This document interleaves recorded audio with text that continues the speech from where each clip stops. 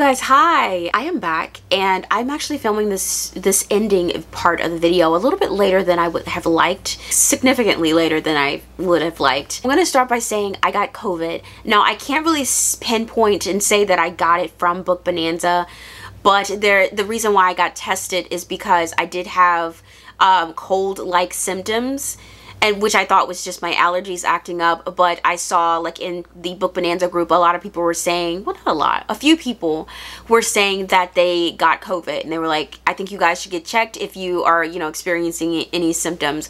And so I went, I actually took a at-home test and it was positive and then I, like I had places to be okay I had things I had plans to do this week so I was like you know what let me go to CVS to get a another test to see if it's like you know, positive or not. And it was positive, so my things to do just did not get done. So I'm I'm still in quarantine right now. I'm feeling a little bit better enough to like film and like put makeup on and stuff, but COVID definitely kicked my butt. I would not recommend 0 out of 10.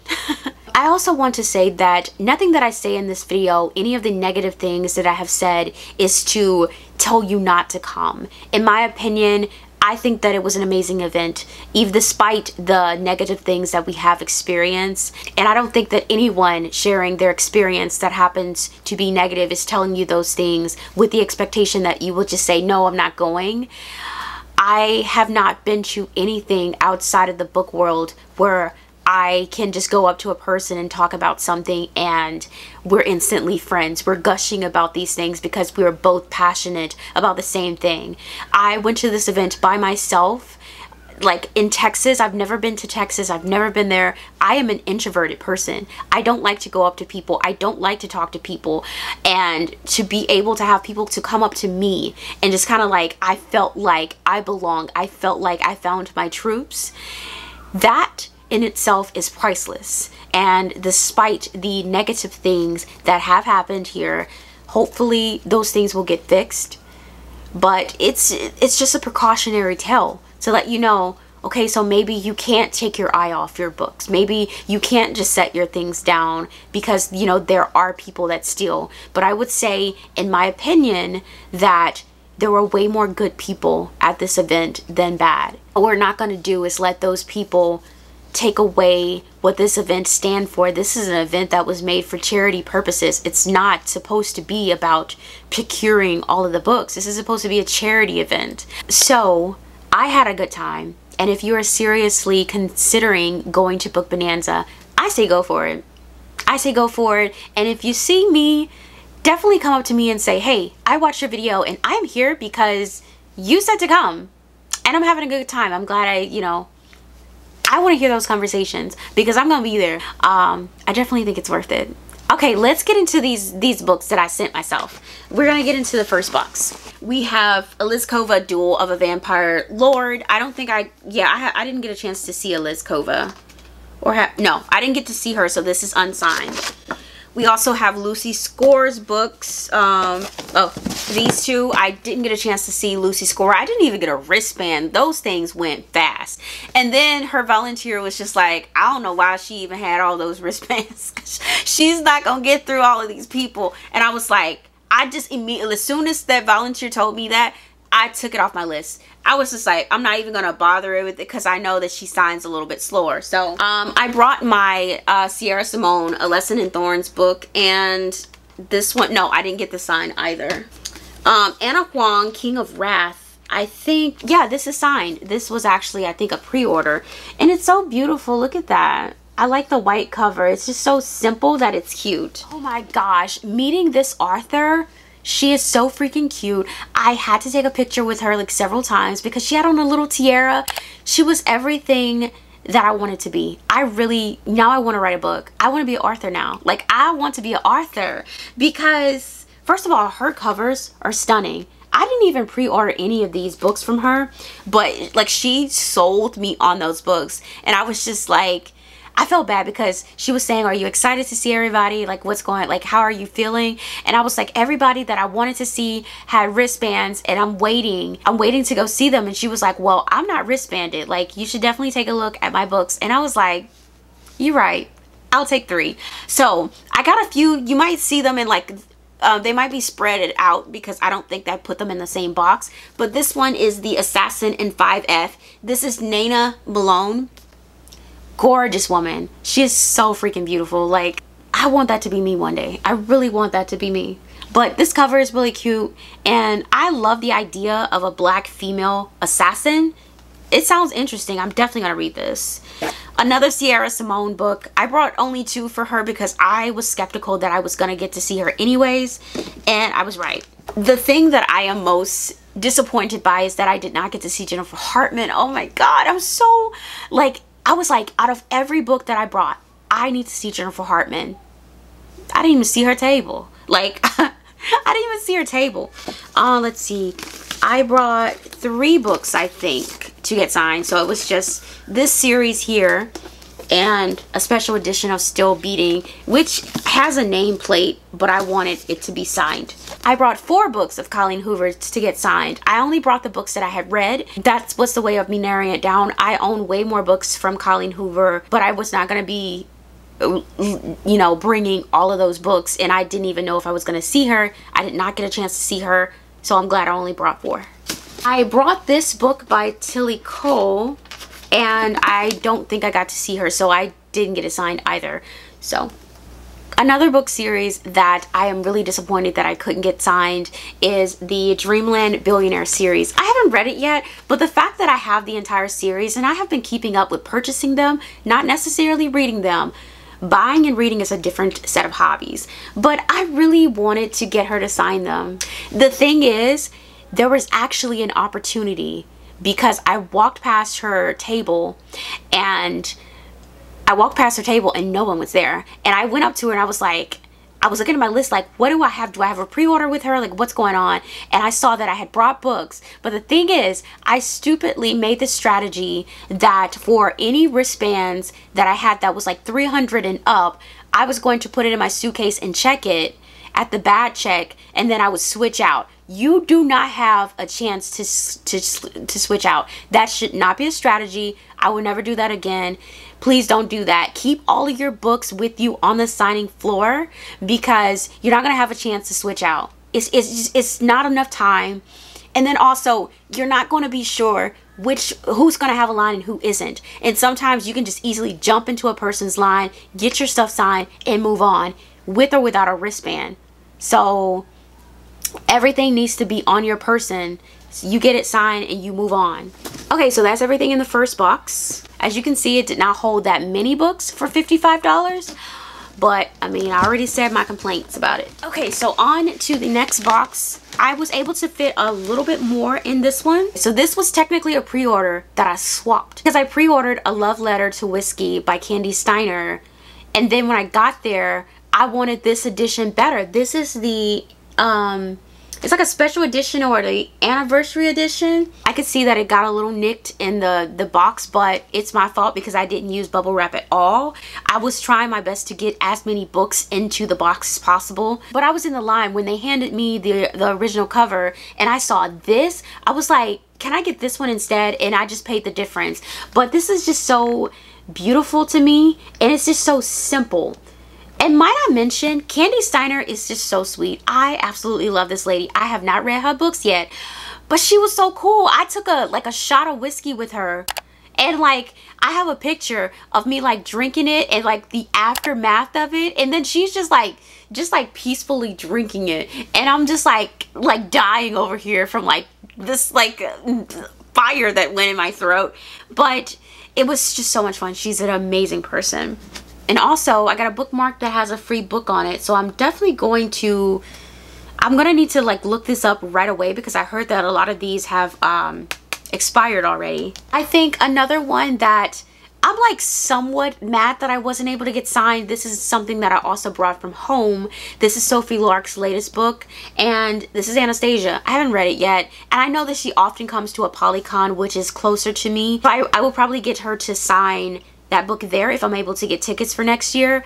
And then also I have to get Minx. So that's her newest book. But I didn't get a chance to meet Sophie either. I got a wristband for her, but they were like 400 and I was like, I'm not even gonna try. Okay, so next up is me being ridiculous and buying complete series from an author. Unfortunately, these were not signed. This was one of the authors that was a big ticket person. Their line never had any laps in it to my, in my opinion.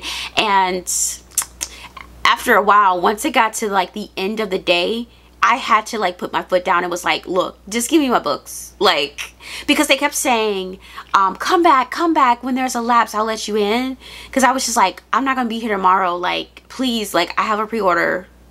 I'm not going to be here tomorrow. Like, and like, at first it was like, can you come back in like 20 minutes? If there's no line, we'll let you in. I came back and then like, it the line was longer. So it was just like, I'm so sorry. You're not going to be able to like get in the line today. And I was like, okay, can I just have my books? And they was like, they're not signed. And I was like, I won't be here tomorrow. I would rather have unsigned books than no books, actually.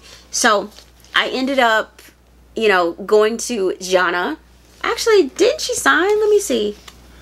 I could be making this whole thing up.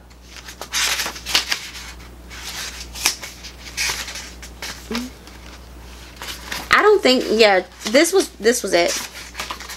This was, um, this was not who I was thinking about. I think it was some someone else that starts with an A. Once I get to their name, I'll remember. But this was one that I had to tell the person like I had to have the volunteer go and grab them for me. I was not able to get in her line and she was right beside Catherine Cowles.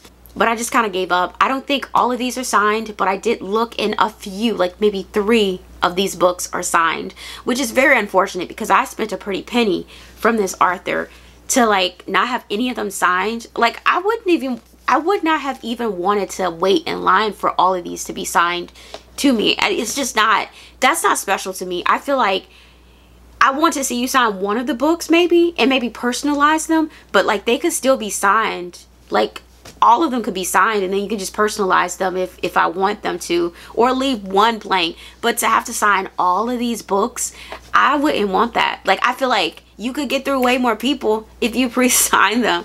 But that's just my opinion and I don't know what goes into that stuff but like I personally would have just preferred all of them to be pre-signed and then like personalize one maybe.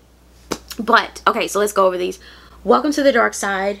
Good Gone Bad. And I love these covers. That's why I got it, y'all. Dead Man Walking.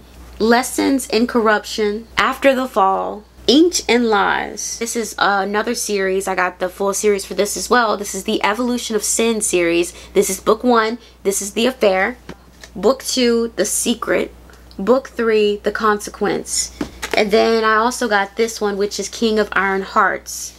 I don't even know what that book was for. I just got it. I I went crazy with her pre-order. So I always wanted to try Catherine Cowles books and she had a really good uh, like sale for the pre-orders. And so I was like, this is the, you know, this, this is a better bang for my buck. You're getting a signed edition for cheaper than just buying it off of Amazon. So I got two of her series. This is the Tattered and Torn series. So I got all of the books here. It's five books.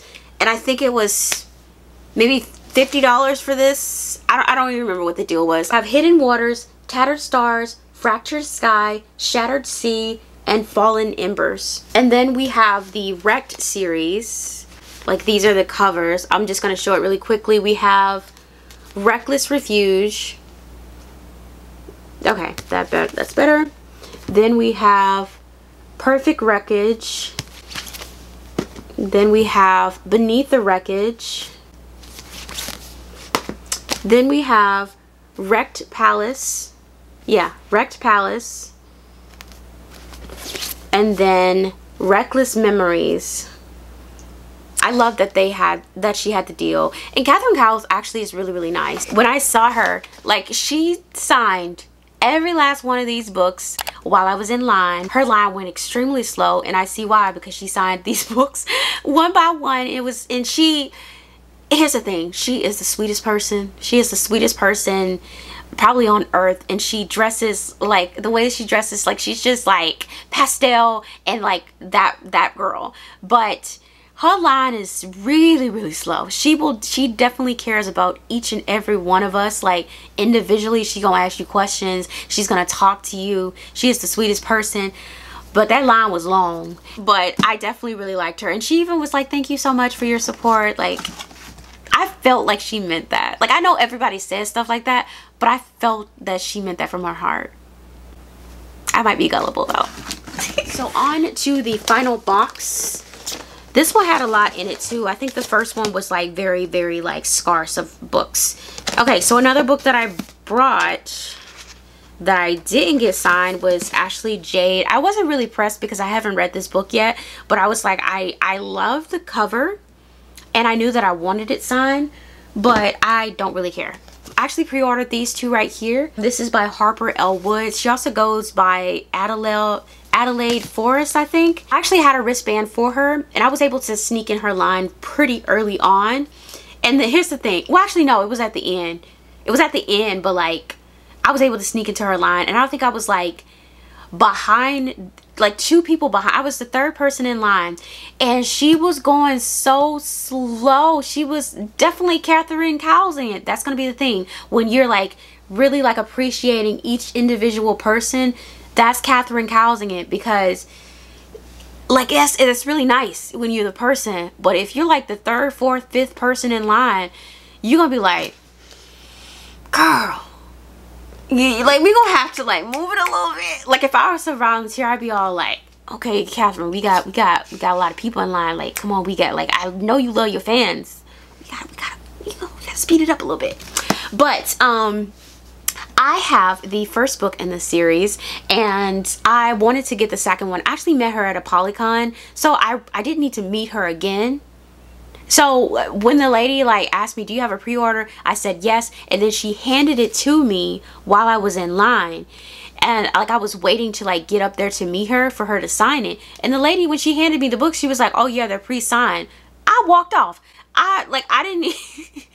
I did not need to see her again. I saw her at Apollycon and I was like, it was at the end. So I knew I had to get to other people oh okay. Y'all remember the story where i was telling you like there was one person i kept having to go back and they kept saying we'll let you in line 20 minutes later. The line never gave up. It was amo jones. That's who it was. And then even at the end like i i kind of kept pressing. I was like can i just get the books? And they was like it's not signed. Is that okay? And i was like at this point it's gonna have to be. I would rather have my books even if it's unsigned. And that's what they did. They they made me go to like the end like the side like right beside her as she like signed everybody else's book. And like I was just like looking on and then like eventually they just brought me my books that were not signed. Which like it's fine but like these are limited edition. I would have hoped they were like pre-signed. Like it really sucks. Hopefully I'll get to see her like at our future event and we can get it signed but like I really wanted the I had a pre-order from another author. Her name is Terilyn Mitchell. I like to like kind of scope out the people of color and I try to do my part in, you know, kind of like supporting their pre-orders and going to their booths to make sure like, you know, that they have people at their table. I want to make a difference. And so one of the people that I saw was Terilyn Mitchell. She was really, really nice. I got a few books from her actually. Let me see. Are they all in here? First of all, I saw these covers and I was in love. Because I really seldom see black women when it comes to like the royalty se like series in a book series. Like when it comes to like royalty normally you see white people and you know? But like seeing them in like these like royal gowns I, I never thought I would see it happen. So I had to get it. This is book one the princess of uh Seychella and then this is book two, The Weight of a Crown. And they are both really, really beautiful covers. And then I also got some other things. We got Double Talk. I really like the cartoon cover here. Then we have the Lou and Jace duet. And then we have Wrong Places, which I really love this cover. Yeah, I really love this cover. I had another book by Emil Jones that I did not get signed the crown duet. This is um one that i brought myself. So this was also one by nana malone. It's the woman that i mentioned earlier that had the crown on her head. I saw this and i like when she was telling me to like check out her stuff i saw this and i was i knew i needed to get this because this is freaking gorgeous. I love the dress I love everything about this cover. It's so beautiful. She also gave me the opportunity to spin the wheel to get like some free items. And one of the items that I got was a um, a free book. I actually won the free candle, but I was like, can I get a free book? Because I did not want to be having a candle going to Jamaica. I just didn't want to chance it. So I got the Air Gentleman Rogues, novella. I also got another Ana Huang, and this is King of Pride. This is also signed. I think Ana Huang was also an author that I had to to request they just go and get it for me, and I think she pre-signed them. Okay, so one of the authors that was not wristbanded, at least at first, was uh, Fiona Cole. So she was like one of my first stops. I did pre-order quite a lot from her. And might I say, if I was ever an author I would want to be in that situation where they underestimate me and don't give me a wristband at first. And then the fans would come in and they would show so much love that they would be like, oh, we better recognize. Let's give Sigrid a wristband because look at all these people that came here for her. We need to get, yes, go Fiona. That's what you do. You show them. Show them that you're worth that wristband, girl. Okay, so I got this series. I'm just going to go really quickly. We have Voyeur. I hope I said that right. Uh, Teacher. This one's probably my favorite. He's so cute. Another. Savior. I also brought a copy of Voyeur, so I have another signed copy. Then we have Liar, and we have Lovers. I also met H.D. Carlton and she signed my book um, and this is Does It Hurt? I actually had quite a few orders, uh, pre-orders from her but for some reason there was like an error and I you know just requested that they be shipped to me so I'm still waiting on those but uh, this is like the alternate cover. Then I met BB Easton. I have not read this um, this uh, book yet but the cover I just really like the leaves for some reason. I don't know why it just it's not leaves, the clovers. But I really, really like that. And so I actually personalized it. She said, Sigrid, you're my angel. But she was really nice in person and I just really enjoyed meeting her. I also met Elizabeth O'Rourke. I think that's how you say it, O'Rourke. And I got a few books from her as well. And I don't, I think that this was the one um, person that I said I had like a really low number. It was like 80 something.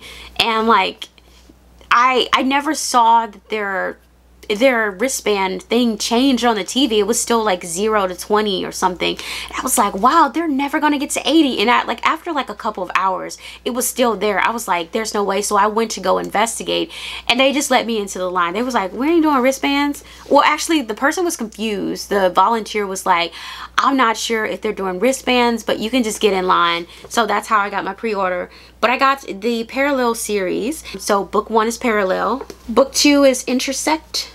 Book three is Across Time and book four is across eternity. Okay and that is all of the books that i got from book bonanza. I do want to show you guys the aftermath of my little like poster. At first i actually accidentally left this in my like hotel room and then like my friend was just like I think you should go get it because like you paid for it. I really want to hang this up somewhere in my book room here. I didn't get a ton of signatures. Like I said, I was really like focused on like pre-orders, but I was able to go up to like a lot of people that either I was already in their lines and I just had them to sign it or if a person just did not have any lines whatsoever, like no one at their table, I went up to them and got them to sign it. And I think I'm going to do this for like from now on, for, like for future events, I definitely want to get something signable that I can like hang up or probably not hang up because like I'm running out of space already like with this. And maybe like a shirt or something for them to sign. Because I I would hate to be at a convention personally and there's no one at my table. Like I just kind of empathize with that person and just I just can't imagine like their thoughts because I know that I suffer from depression and I can be my own like worst enemy like the things that I say to myself internally will be a lot worse than what anyone outside of my mind can say. I know what my mind would be telling me in that situation and so that's why I always try to make sure that everyone feels supported, appreciated, and that they deserve to be there. Like whatever I can do to kind of make a person not go through what I feel like I would be going through. So just some of the signatures that I see, I think Teralyn Mitchell, Kandi Steiner, uh, Catherine Cowles, Katrina Jackson, I forgot to tell you guys, I met Katrina, Katrina Jackson. And the thing is, I had some of her books on my shelf. I just never pulled them. I didn't remember that I had books from her.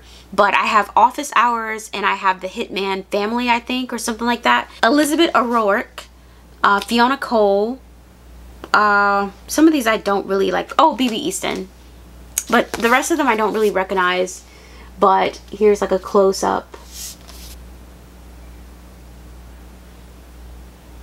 that is everything that I have from Book Bonanza. I had an amazing time and I hope that if you guys have any questions you would feel comfortable asking me in the comments because I do try my best to reply to everyone's comment. But until next time, I will see you guys later. Bye.